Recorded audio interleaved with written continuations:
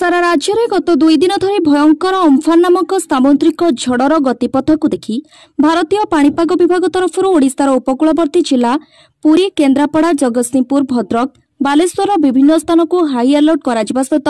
ଉପକୂଳ ଅଞ୍ଚଳରେ ରହୁଥିବା ଲୋକମାନଙ୍କୁ ସୁରକ୍ଷିତ ସ୍ଥାନକୁ ସ୍ଥାନାନ୍ତରିତ କରାଯାଇଥିଲା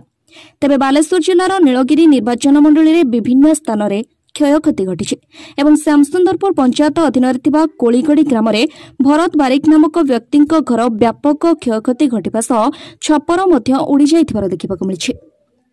ନୀଳଗିରିରୁ କପିଲ ସାମଲଙ୍କ ରିପୋର୍ଟ ଅଭୟ ନ୍ୟୁଜ୍